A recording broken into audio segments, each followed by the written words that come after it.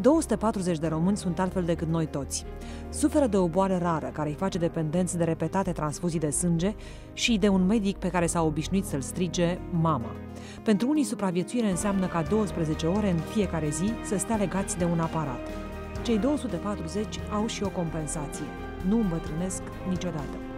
Și metaforic suntem într-o țară bolnavă în care vrem să construim pe sentimente negative, pe ură, pe invidie, pe confruntare și nu o să reușim.